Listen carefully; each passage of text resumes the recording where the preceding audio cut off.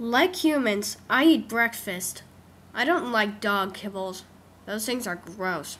Alright, I'm gonna just take a little walk over here to make sure my master isn't looking. And then I'm gonna turn back and here I come now. Look out, eggs, I'm coming in. Bum ba bum ba ba ba bum. After breakfast, I usually guard the house. That and lie down. I hear something, so I'm very careful to watch and listen carefully. Guard duty isn't easy, you know, especially in this neighborhood.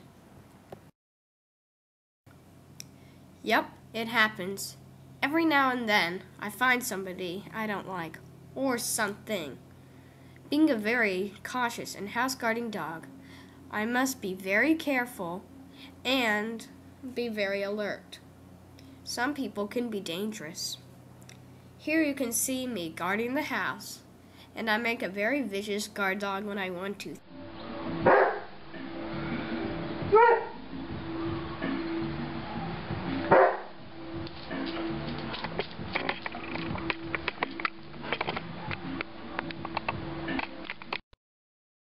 At about noon, it's time for me to go outside into the backyard. Well, here's my crapper, my playpen, and my property. It's my fabulous backyard.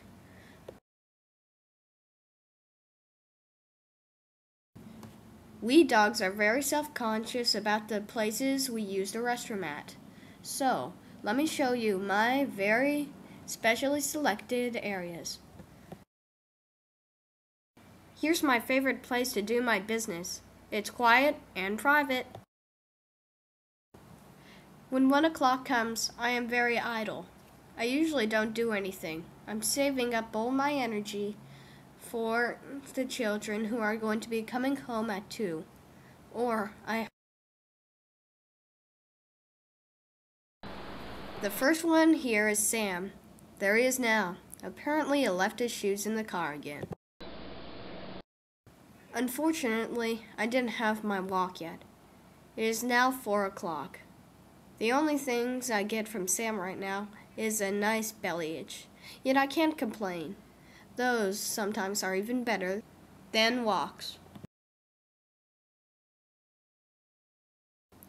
I just got up quickly because I heard the jingle of my leash. Yeah, I think it's walk time. All right, it is. Wow, I hope I didn't forget the bags this time. Well, I better go out. Thanks for watching, folks.